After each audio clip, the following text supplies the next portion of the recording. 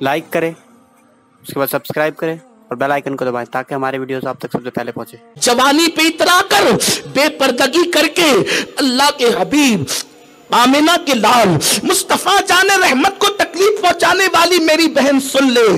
اللہ نہ کرے، ہزار بار نہ کرے کہ اگر تو نے رسول اللہ کے دل کو تکلیف پہنچائی نا، ناجائز فیشن کی وجہ سے، ناجائز کاموں کی وجہ سے، بے پردگی کی وجہ سے، بے حیائی کی وجہ سے ایسی بیماریوں میں ایسی عورتیں مبتلا ہوتی ہیں کہ بستر سے اٹھ بھی نہیں پاتی، تباہی کے دہانے تک پہنچ جاتی ہے، حسن چھین جاتا ہے، کوئی منہ بھی نہیں لگاتا۔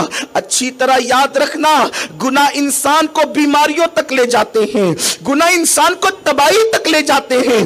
گناہ کرنا انسان کو بہت اچھا لگتا ہے، لیکن جب قدرت کسی پر پکڑ کرتی ہے، قدرت اپنے شکنجے میں جب کسی کو جکڑتی ہے، تو پھر انسان روتا ہے اور اس کے ہاتھ بھی توبہ کے لیے نہیں اٹھتے۔ اے خاتون جنت کی کنیزوں، ایسے کام مت کرو، جس سے اللہ غضبناک ہو جائے، جس سے اللہ تم سے ناراض ہو جائے۔ اللہ اکبر، آج اگر علماء کہیں، پردے کی پابندی کرو، تو آج کل کی لڑکیاں ہستی ہے مولانا، یہ پرانے دور کی بات ہے۔ نہیں میری بہن، یہ پرانے دور کی بات نہیں ہے۔ یہ اللہ کا فرمان ہے۔ اس کے محبوب کا فرمان ہے۔ عورت صنف نازک ہے۔ عورت سے پھول عورت پھول سے زیادہ قیمتی ہے۔ عورت سونے سے زیادہ قیمتی ہے۔ عورت ہیرے جواہر جواہرات سے زیادہ قیمتی ہے۔ اس لیے عورت کا حسن اگر محفوظ ہوگا تو پردے کی وجہ سے۔ حضرت ام المومنین عائشہ صدیقہ سلام اللہ علیہ اشارت فرماتی ہیں، جب پردے کا حکم نازل ہوا تو مدینہ منورہ میں اللہ کے حبیب نے صحابہ کو آیت پڑھ کر کے سنائی کہ پردے کا حکم ہے۔ اس وقت انصار کی کچھ عورتیں ایسی تھی کہ جن کے پاس دوپٹے نہیں تھے، تو انہوں نے اپنے کمر بند پر، کمر پہ جو پٹکا باندھتی تھی، اس کمر کے پٹکے کو کھول کر کے اپنا دوپٹہ بنا لیا۔ اور پھر ہم نے دیکھا مدینہ منورہ میں، فجر کی نماز میں جتنی عورتیں مسجد نبوی میں آئی کوئی عورت بغیر دوپٹے کے نہ تھی، حتیٰ کہ ان کے پاس دوپٹے نہیں تھے۔ اور وہ دور اتنا مالداری کا دور بھی نہیں تھا۔ تو کمر کے پٹکے انہوں نے دوپٹے بنا لیے۔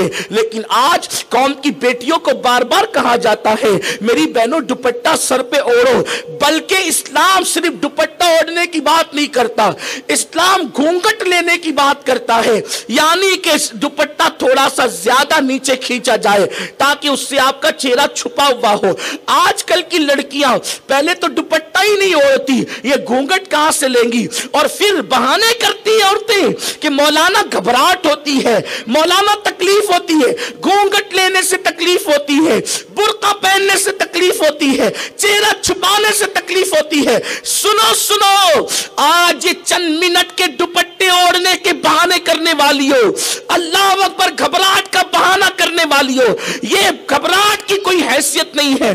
اگر تم گھونگٹ ڈالو گی، اس کی عادی بن جاؤ گی تو تمہیں سکون ملے گا، تمہیں اطمینان ملے گا، تمہیں قرار ملے گا۔ اور اگر تم نے اللہ کے حکم پہ عمل نہیں کیا، تو پھر قبر کی کالی کوٹری میں تمہیں ایک دن ڈالا جائے گا۔ جس دن تمہاری روح کا رشتہ، تمہارے جسم سے ٹوٹ جائے گا۔ نہ شوہر تمہارا رہے گا، نہ بچے تمہارے رہیں گے، نہ گھر تمہارا رہے گا، نہ زیورات تمہارے رہیں گے، نہ لباس تمہارے رہیں گے۔ قبر میں اکیلے جانا ہے اکیلے، اپنے شوہر کی حسن پر اور دولت پہ اترا کر کے اللہ کی نافرمانی کرنے والیوں، گناہ کرنے والیوں، گناہوں کے اڈوں کو آباد کرنے والیوں، کب تک گناہ کرو گی؟ کب تک جرم کرو گی؟ گناہ کر کر کے کب تک رسول پاک کے دل کو تکلیف پہنچاؤ گی؟ اسی وقت تک نہ جب تمہارے جسم کا رشتہ تمہاری روح سے جڑا ہوا ہے۔ اور یاد رکھنا، جو میرے نبی کو خوش نہیں کرتا، اللہ اس کی زندگیوں سے خوشیاں چھین لیتا ہے۔ زیرات تمہیں خوش نہیں کر سکتے۔ نرم گدے تمہیں خوش نہیں کر سکتے۔ اگر تمہیں خوشی ملے گی، تو مدینے کے تاجدار کو خوش کر کے خوشی ملے گی۔ اس کے سوا خوشی نہیں مل سکتی۔ اس لیے کہ جب تک کہ مدینے سے اشارے نہیں ہوتے، روشن کبھی قسمت کے ستارے نہیں ہوتے، ملتی نہ اگر بھیک حضور آپ کے در سے، اس شان سے منگتوں کے گزارے نہیں ہوتے۔